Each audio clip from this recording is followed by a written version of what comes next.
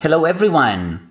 We are going to start with unit number 6, which is health. We are going to deal with health and disease, staying healthy, and health risks. Let's start with the definition of health. Health is a state of overall physical, mental, and social well-being. Types of diseases. Depending on how they appear and how long they last, they can be congenital diseases. These are present from birth. For example, a problem during birth.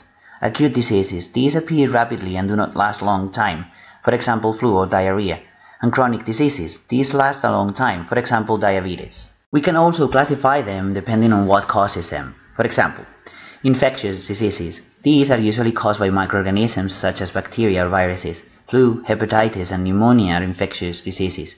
Non-infectious diseases. These are caused by organ malfunction or poor nutrition. For example, lack of vitamin D can cause a disease called rickets. Infectious diseases can be caused by Bacteria, Salmonella, tuberculosis, and tetanus. Viruses, measles, flu, and AIDS. Fungi athlete's foot. Parasites, malaria, and sleeping sickness are parasitic infections caused by some protozoa. But how can we catch an infectious disease? People catch infectious diseases by coming into contact with infectious agents. Diseases that are transmitted from one sick person to another are called contagious diseases. This can happen through direct physical contact or through bodily fluids such as blood or saliva. Flu is a contagious disease. How to stay healthy? First of all, prevention. Having good hygiene, having a complete and balanced diet, doing regular physical activity, getting enough sleep and having enough leisure time, keeping good posture.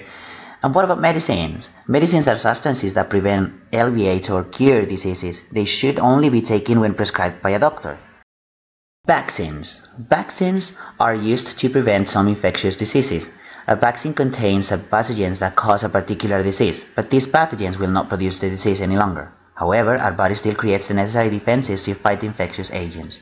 And surgery. Surgery is when doctors use instruments to repair something inside the body. Health risks. Accidents.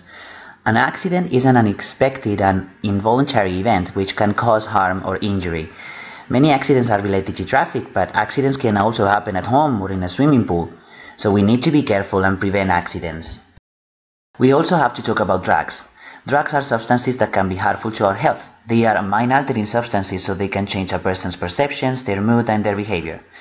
Alcohol is another drug and affects the brain so people who drink too much become intoxicated and cannot move, think or speak properly.